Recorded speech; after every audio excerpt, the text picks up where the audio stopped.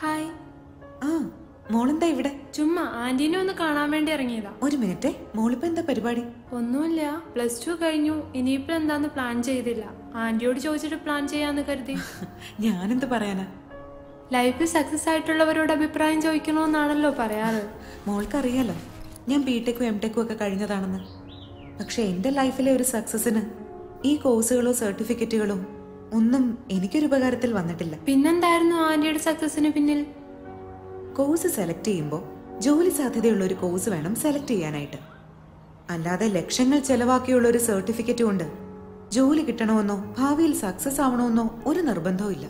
G I T ഡിയിലെ ഒരു കൊല്ലത്തെ fashion designing and beautician course അതാണ് എന്നെ ഈ കാണുന്ന സക്സസിൽ എത്തിച്ചത്.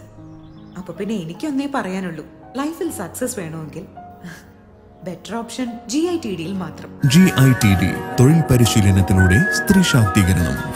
ജി ഐ ടി ഡി ഇതാണ് എന്റെ അഭിമാനം എന്റെ തീരുമാനം.